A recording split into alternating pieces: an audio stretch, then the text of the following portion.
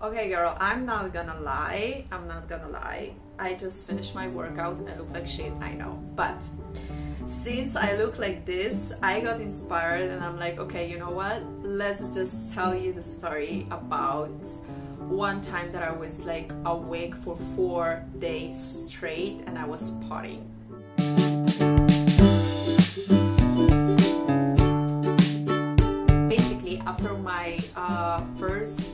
Got busted, first work agreement got busted uh, by police, I'm gonna tell you everything day by day, don't worry, we will talk about that later. So I found another place in, um, you know, um, it was a small uh, studio and it was um, work related to buyers from abroad with brands. Like, you know, Dolce Gabbana, and all of that big brands huge brands etc well i was working with them. It was an export of huge brands okay? So salvatore ferragamo i don't know you, you could see chanel you could see prada you could see everything and i was there working with uh, biggest brands for the buyers. So the thing was like um, I was working from Italy and I was uh, speaking with the customs, etc. Yes, and I was 22 at that point, so you can imagine. What happened is that uh, knowing a lot of languages, you actually open yourself a lot of doors. And I um, I was working with uh, one lady, which was um, very nice. From the start, she was very nice, and I appreciated that because it was the opposite of my ex work, in which I just literally didn't appreciate it like much. But with time, like after a month or so, she started to be a little bit jealous because she was working with her boyfriend, and the boyfriend didn't wanted to like marry her and she was frustrated every time that her boyfriend was like out with a female buyer you know because all the buyers uh, were coming from abroad and some of them they were like amazingly beautiful girls amazingly beautiful ladies. So you know he was like along with them and she got always frustrated about that. So when she was frustrated about that she wanted to take it off on someone and um, I was always under her hand. So she started with the small things like, oh, today you don't look that perfect as usual. Or she might say, ah, oh, you know, you maybe have a gray hair up there.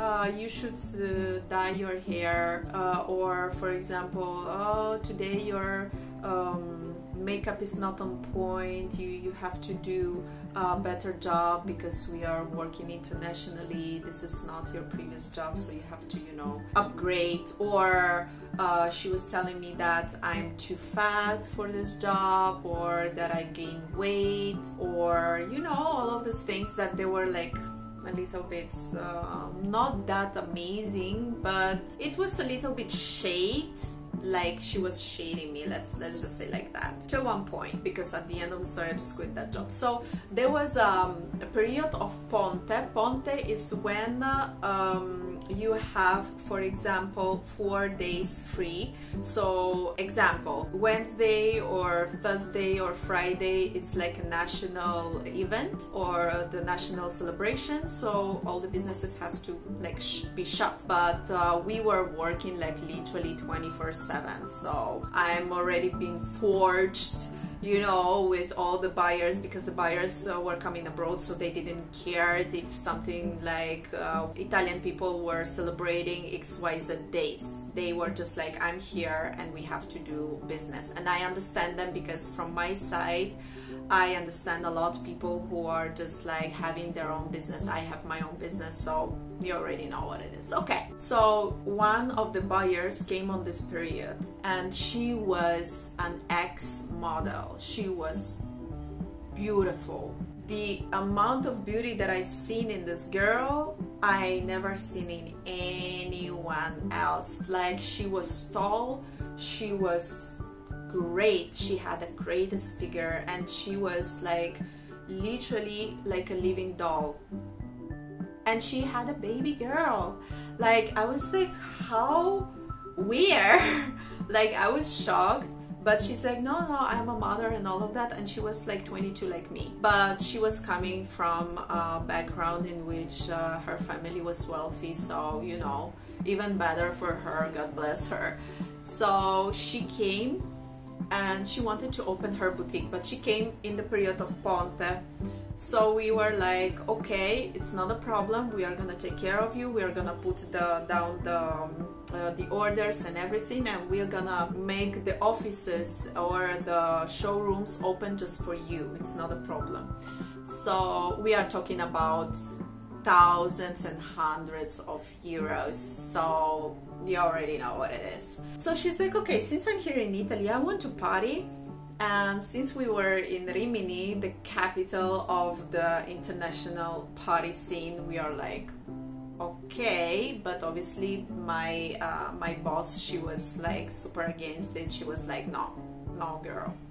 You ain't gonna go anywhere. You're gonna go to work and you're gonna you're gonna finish it off in uh, this four days it which was friday saturday sunday and also monday. Four days.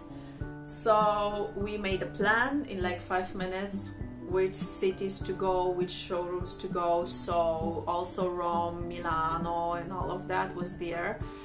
And uh, firenze so Firenze, which is Florence. Mm? Okay, we made a plan and we start to go to uh, like the first place. So we went to all the showrooms in XYZ city, and then after that, she's like, you know what? But I just don't feel like you know I'm the first time here in Rimini, or the first time here in Milan, or first time here in Florence, or uh, so she's like, I don't, I just don't feel like sitting in the hotel and nothing. So I'm like, Papa, wait. I will call my friends, we will party. So, obviously imagine. So, after the work, after everything that we that we order, we are going back to the hotel, we are taking shower and we are going out. We are going out, we are doing aperitivo. Aperitivo is when you are drinking something, chit-chatting and then you eat small small things. Uh, just to you know calm down the after all of this uh, mess of the day. And it usually starts like from 6 till 8 or till 9 at 9 you go to eat like a supper. And then after the supper at midnight of 1 o'clock after the coffee you start to go out and you start to party. So first day we went to party and literally there was so many people around her that's like you know these guys that latin lover and all of that. They are like oh give me your number and all of that. I, I literally had to go with the sticker. And like, eh, eh, eh, go go. So i was her like uh, um, security guy. And uh, after that obviously one club another club third club fourth club etc we always finish it like at six o'clock in the morning.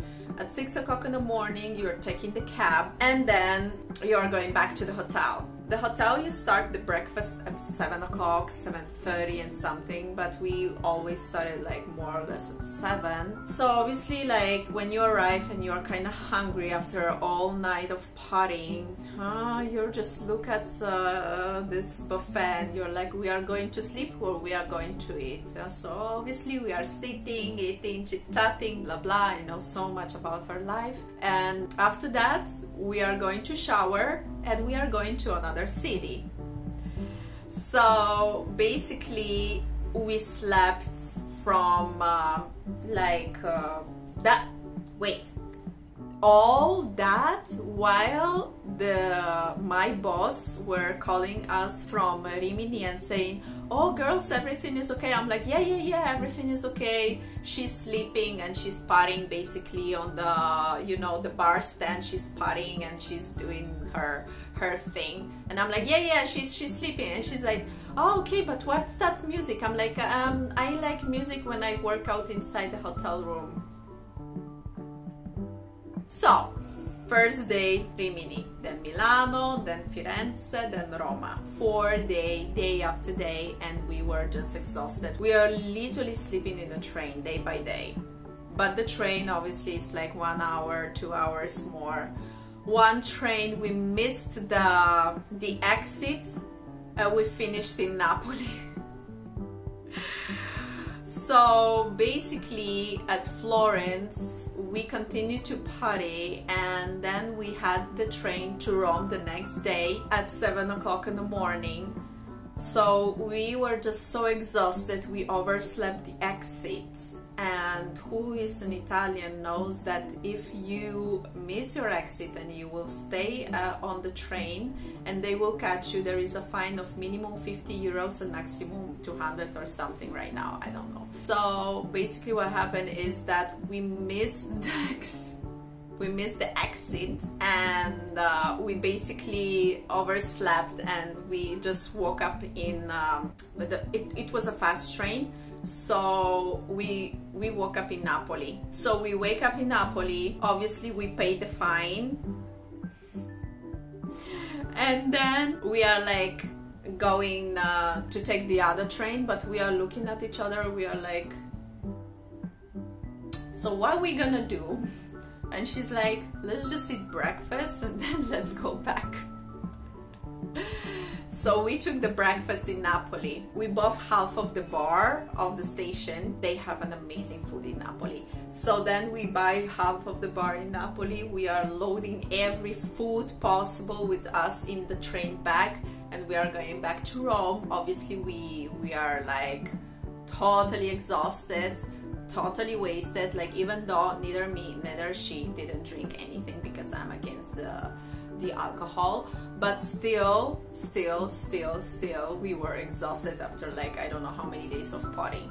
So we arrived we are doing everything in rome and then directly from rome we are going back to Rimini because she had a flight to her house from Rimini. Okay, at that point, the Rimini airport was open. So, what happened is that she's like, Okay, so this is my final day. I wanted to make it big. I'm like, No, because before it was not big, okay? Before it was just like, hmm, ooh.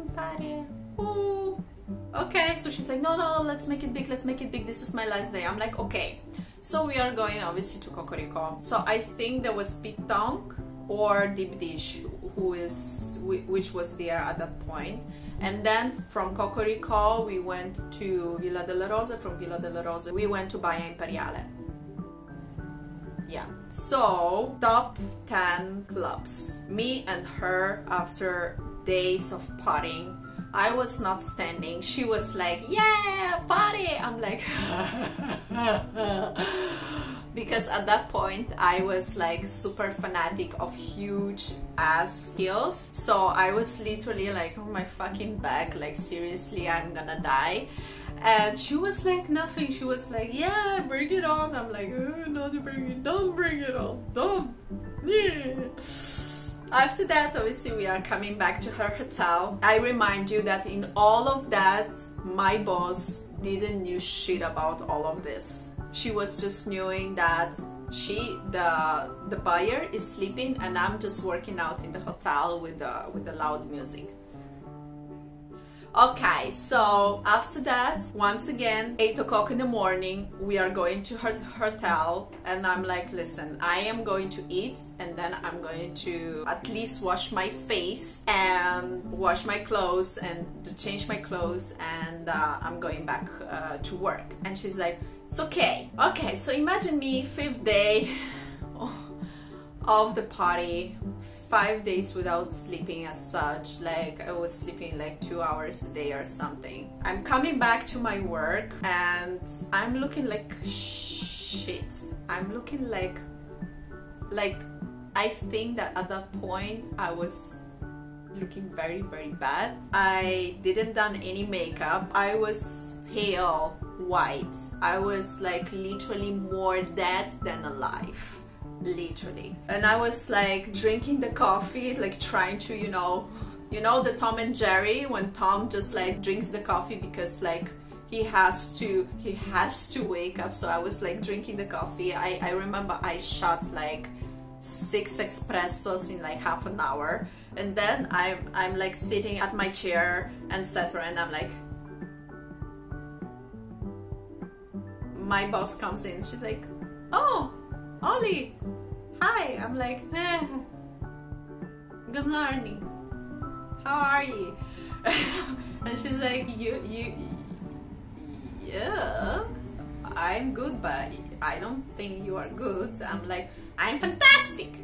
I'm amazing. Yeah uh, life is beautiful.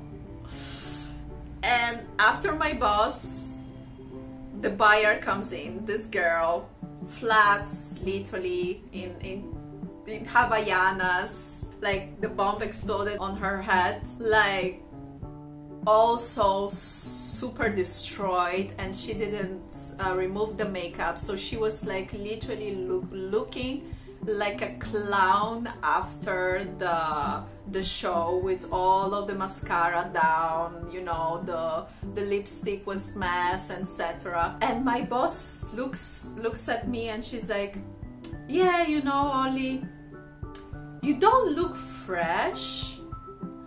Look at our buyer. She looks amazing today. And the buyer like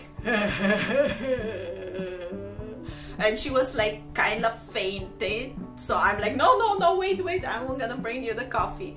And then my boss she was like something is wrong with our buyer i'm like yeah i i think she she got sick yesterday. That's why. And i told the girl like don't say anything. She's gonna fire me. So obviously like the girl was like no i feel very sick it's been a period of huge stress for me. I'm like yes both of us. Give me more money. So she's like oh my god yes yes that's amazing. And she and my boss lady was so like sure that I was the only one who was like looking like shit. And just like she I think she was like yeah let's say to the buyer that she looks amazing because she was not but yeah let, us just let, us just um, fire the crackers right so that that was that was huge but girl after that I swore that no matter what, I'm not going to go without the sleep and proper food for more than one day. Because no matter what, I don't want to look like shit. but that was amazing. That was one of the periods in my life in which I had super fun no matter what. So that was a wrap. That was like very very quick story from Olly. I hope you liked it. If you don't like it, I'm sorry. Next time will be better. And uh, let me know what you think about it. A part of my horrible look today. I hope uh, you and your family safe. So stay safe, wash your hands as usual, and kisses, social distancing hug. And once again, comment down below, like, subscribe, ring the bell, not ring the bell, jingle bell. Till the next time.